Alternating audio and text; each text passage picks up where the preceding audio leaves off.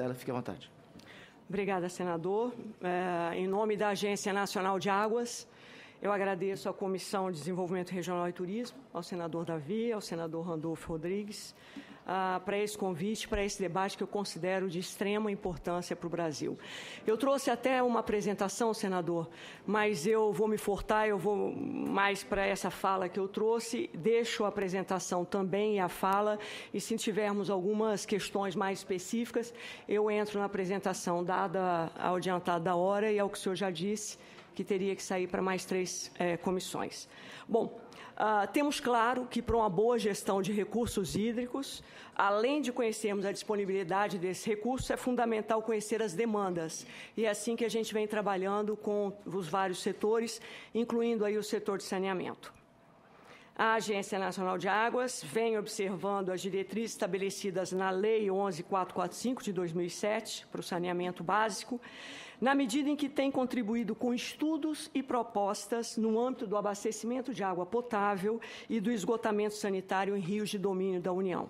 E eu trago aí algumas boas notícias, viu, senador? Enfim, é, estudos importantes que darão base ao Plan SAB. Por isso, até eu coloquei ali subsídios à implantação do PlanSab. Essa apresentação ela trata especificamente do Atlas de Abastecimento de Água, lançado pela Agência Nacional de Águas, em conjunto com vários parceiros, em 2006 e também desse Atlas de Poluição de Bacias Hidrográficas, onde a gente faz uma análise mais profunda de tratamento de esgotos para todos os municípios do, do país. Vamos lançar no primeiro semestre de 2016, junto aí com o Banco Mundial, com o Ministério das Cidades, Ministério do Meio Ambiente, onde é, cremos que é uma base sólida para a implementação do Plan SAB. Bom, a Agência Nacional de Águas tem como competência, pela Lei 9984, no seu artigo 4 promover a elaboração de estudos para subsidiar a aplicação de recursos financeiros da União em obras e serviços de regularização de cursos d'água, na alocação e distribuição de água e de controle de poluição hídrica em consonância com o estabelecido nos planos de recursos hídricos. E aí uma das questões que nos colocaram para essa audiência específica é a questão exatamente da despoluição é, dos rios. Né? Então a ANA vem construindo novas formas de lidar com as questões abordadas pela área de saneamento, para além dos projetos levando em conta as diferenças regionais, culturais e políticas que nos impõe o Sistema Nacional de Gerenciamento de Recursos Hídricos e fortalecendo algumas parcerias estratégicas. Diante de incertezas futuras quanto à disponibilidade e demanda de água e da possibilidade de eventos hidrológicos ainda mais críticos, uh, mais frequentes e ainda mais severos, como que estamos vivenciando eh, nos dias de hoje, Cresce a importância de contar com capacidades técnicas, planejamento adequado e instrumentos de cooperação entre entidades de diferentes esferas e setores. Apesar da relativa qualidade dos serviços prestados em relação ao abastecimento de água, principalmente a urbana, quando voltamos a nossa atenção para a coleta e tratamento de esgoto, verifica-se um déficit significativo de atendimento dos serviços de esgotamento sanitário no Brasil frente à demanda imposta pelo rápido crescimento dos centros urbanos do país. A interface explícita desse problema com a qualidade das águas superficiais torna um imperativo o envolvimento da Agência Nacional de Águas nesse tema.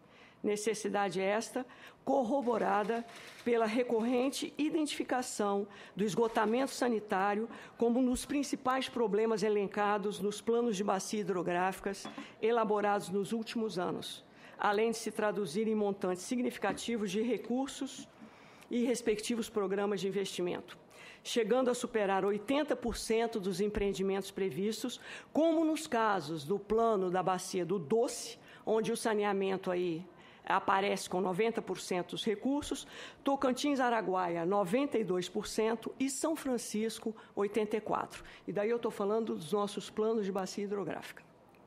Bom, dentre as ações que a agência vem fazendo, além desses dois atlas, eu posso citar aqui o PRODES, eu acho que é velho conhecido de todos, que é o Programa de Despoluição de Bacias Hidrográficas, que foi lançado lá em 2001 com o propósito de reduzir a descarga de esgotos não tratados para a recuperação da qualidade das águas.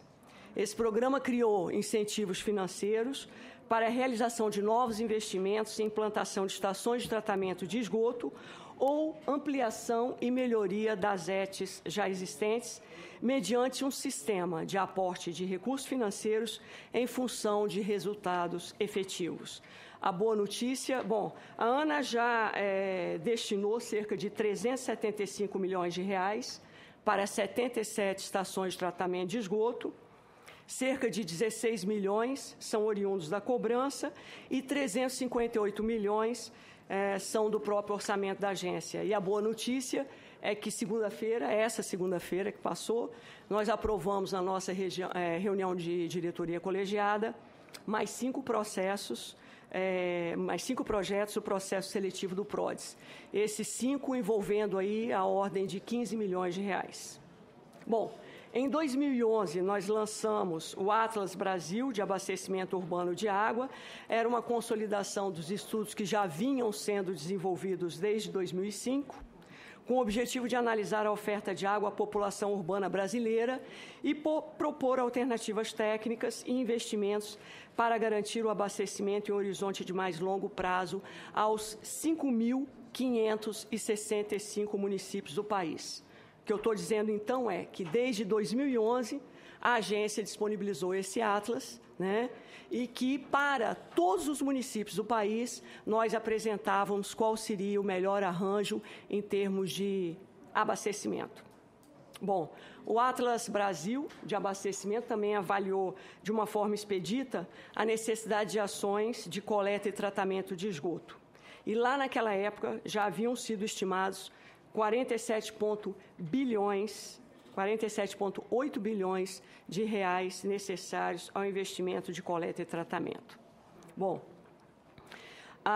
também foi concebido, aí em parceria com o Ministério das Cidades, Banco Mundial, por meio do Interáguas e contando com a colaboração dos estados, e a FUNASA entrou fortemente no ato de abastecimento uh, de água também.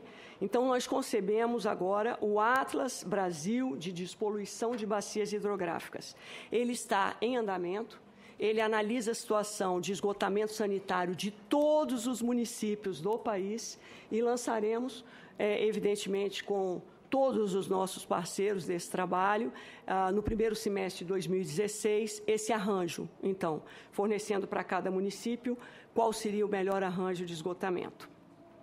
É, ele tem, esse Atlas tem basicamente dois objetivos. Ele promove um diagnóstico das condições atuais de atendimento por coleta e tratamento de esgoto urbano das sedes municipais de todo o país e ele identifica alternativas técnicas para a redução da carga proveniente de esgotos urbanos, de forma a compatibilizar a qualidade da água dos corpos receptores com abastecimento urbano e reservatórios de usos múltiplos. Então, o Atlas considera aspectos como padrões legais vigentes, de condição de lançamento final de efluentes em corpos d'água, ele fornece subsídios ao enquadramento em classes de usos dos corpos receptores e usos desejados na água desses corpos hídricos e que ainda não possuem metas de enquadramento. Bom, o que ele traz em seu, em seu bojo, ele, é, estamos, os recursos alocados para o Atlas de Despoluição são da ordem de 5 milhões e 300, e, como eu disse, a, a nossa, o nosso término é previsto agora para o primeiro semestre de 2016. Então, ele traz em seu bojo duas novidades, na verdade. Ele traz também a modelagem de qualidade d'água, são diversos cenários aí para diferentes é, vazões, né? Q95, a vazão média de longo termo, ah, enfim. Eu acho que, como disse no início, será um subsídio de peso à implementação do Plan SAB. Temos trabalhado muito junto, como já disse, com o Ministério das Cidades, com o Banco Mundial e com a FUNASA e com os estados, né? sem dúvida, porque todos aqueles reguladores do serviço de saneamento, eles validam esses arranjos, evidentemente, que a gente sugere de esgotamento sanitário para poder, então, serem considerados no Atlas. Bom, e aí eu deixo um desafio, e se eu tiver mais tempo eu posso entrar na minha, na minha apresentação, só para mostrar alguns arranjos para vocês, mas eu acho que a questão de saneamento, ela nos apresenta um desafio fantástico do ponto de vista de regulação. É, recentemente, por ocasião é, do nono Congresso Brasileiro de Regulação, organizado pela ABAR, Associação Brasileira de Agências de Regulação, o nosso diretor-presidente apresentou algumas reflexões, Vicente Andreu, sobre a regulação do uso da água pelo setor de saneamento e a regulação do serviço saneamento. A grande maioria das agências reguladoras estaduais de saneamento não outorga o uso dos recursos hídricos, tendo as suas funções limitadas a questões relativas à regulação da prestação de serviços de saneamento. Evidente, é essa a competência. Ainda há uma evidente falta de articulação entre os órgãos gestores de recursos hídricos dos estados, responsáveis pela outorga, né, com aqueles responsáveis pela regulação da prestação de serviços de saneamento, pelo menos nas dimensões que essas articulações poderiam ser exercidas. Em geral, as concessionárias de serviços de saneamento têm valores de vazão de outorgas discrepantes daqueles efetivamente operados. Não raro, há sensíveis diferenças para maior entre os valores nominalmente concedidos e aqueles efetivamente captados, o que pode acarretar ou que já está acarretando problemas para a gestão dos recursos hídricos em situações de escassez. Isso ocorre, na maioria das vezes, por medida de precaução dos concessionários, cautelosos em estabelecer suas reservas de água para horizontes de mais longo prazo, desconsiderando muitas vezes os avanços obtidos com as pactuações decorrentes da regulação exercida pelas agências estaduais, no sentido de melhoria da eficiência ou diversificação de mananciais, por exemplo. Nessas hipóteses, os valores de vazão não efetivamente utilizados pelo setor não são percebidos pelos respectivos órgãos gestores de recursos hídricos, ficando, muitas das vezes, indisponíveis para demais usos. Os órgãos gestores, por sua vez, acolhem tal precaução das empresas de saneamento e adotam as vazões de final de projeto durante todo o período de exercício dessa outorga. Da mesma forma, a pactuação sobre diminuição de percentuais de perdas nos sistemas de distribuição de água das concessionárias de saneamento no nível estadual poderia disponibilizar, ao longo dos anos, quantidades significativas de água nos mananciais das cidades brasileiras, aumentando a disponibilidade desse recurso, o que, em momentos de escassez, como já disse, no qual estamos vivendo, com o que atravessamos hoje em dia pode fazer uma grande diferença. Então, as outorgas na medida exata e a questão da diminuição dos percentuais de perda na distribuição. Esse cenário apresenta oportunidades enormes de sinergia a exemplo da possibilidade de institucionalização de um procedimento flexível de outorga associado a metas progressivas de eficiência no uso ou de diminuição de perdas, criando um cronograma que resulte no aumento de disponibilidade de água, que pode ser essencial em situações críticas como a que estamos vivendo. Então, senador Randolph, era basicamente isso. Eu gostaria que até meus colegas de mesa falassem e, se ficar faltando alguma coisa, ou até nas perguntas subsequentes, eu posso descer a mais detalhe na apresentação.